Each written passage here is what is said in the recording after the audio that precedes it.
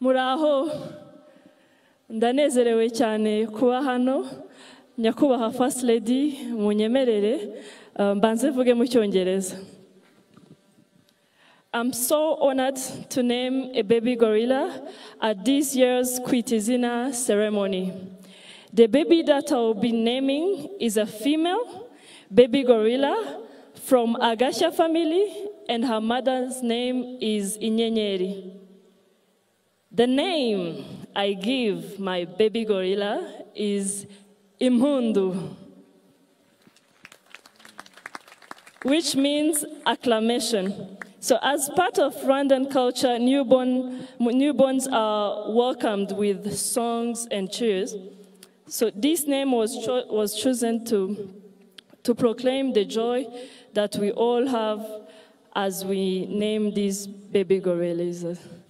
So, I would add that Imhundu is only privileged for women. So, no man is allowed to to, to acclaim impundu so munyemere nabasaba tukavuza impundu abagore turi hano abanyarwandakazi tuvuze impundu twishimira aba bana b'ingagi bavutse. Ayi!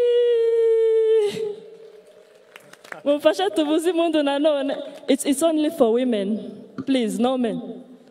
Again that's, that's how we do it. Twongere murakoze cyane. Nk'uko twari twarabibasezeranyije mu biganiro byacu byatambutse ah, nyuma yo kubakurikiranira uyu muhango ah, twari twababwiye ko uyu muhango turawubanamo ndetse tukabagezaho byinshi nk'uko mwakomeje kubikurikira kuri Floriye TV show.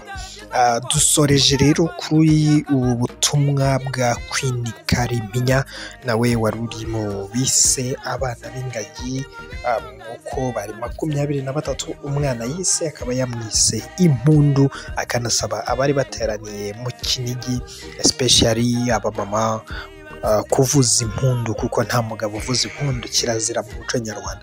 Ah, ni ibirori rero byari bibereye ijisho byitabiriwe na nyakubahwa lady ah, jeannette kagame ndetse n'abandi banyacyubahiro batandukanye abasitari ni ibirori byari bibereye ijisho mashariki yasusurukije abantu riderman bulldog ariel ways bwiza dani vumbi ndetse n'abandi batandukanye bose basusurukije abitabiriye ibi birori byari bibereye ijisho. Naho ubundi mbibutse ko aba bana bose biswe amazina ubwo ni ugutegereza aho umwaka utaha ibirori bizongera kuba itariki nk'iyi ngiyi bikongera kubera mu kinigi dore ko tuzaba tubyizihiza ku nshuro ya makumyabiri. Tubibutsa ko umuhango wo kwita amazina abana b'ingagi watangiye mu mwaka w'ibihumbi bibiri na gatanu. Ngayo nguko rero ni uko umuhango wagenze tubifurize guhirwa kugira u rwanda ruzira umwaga. Na busa. Ngaho rero imana y'u rwanda ibarinde umwaka n'umwaga aho byava byose imana ibarinde.